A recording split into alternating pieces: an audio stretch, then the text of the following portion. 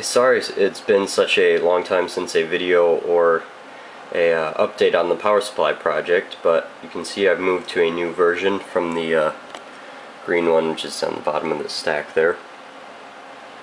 Uh, this one, it has several major changes, besides the smaller size obviously. If you check my blog, go into more detail about it, but basically I've changed the display to a uh, OLED display i am using an Xmega now, um, and I've switched a lot of the uh, components to surface mount, so it doesn't take up as much room.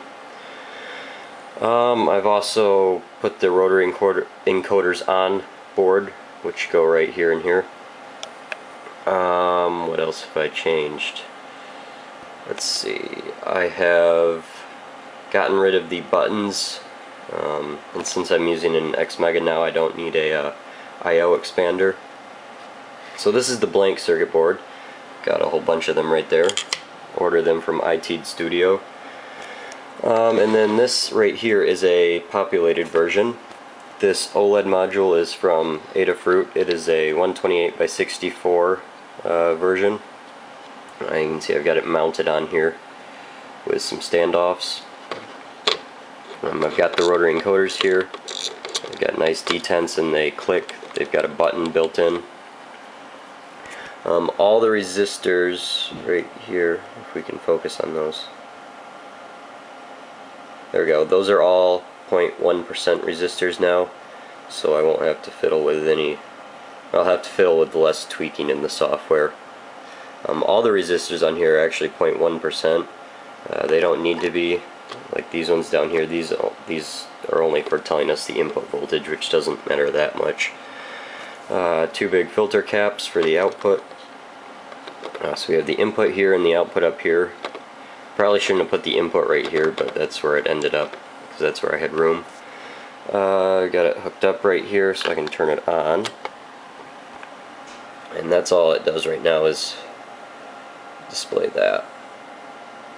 I if we can focus on that. I guess we can't focus on that display, but it's it's really very crisp. Um, great contrast. It says QWERTY Boy Design Digital Power Supply.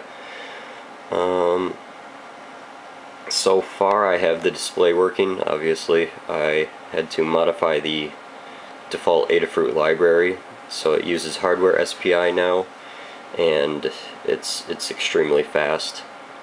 Um, I've also started getting the, the DAC and the ADC working, but I'm having a little bit of trouble with that. The, the SPI port on the Xmega is kind of it's it's not working for some reason very well. So we gotta get that working, the encoder's working. I tried getting those working, I was having issues with that as well. I don't know what I'm doing wrong, but I suppose if I keep trying it, I'll eventually get it. So there's a quick update on the power supply. There's there's nothing on the back except for solder joints. But so there we go. There's a uh, update on what I've been up to.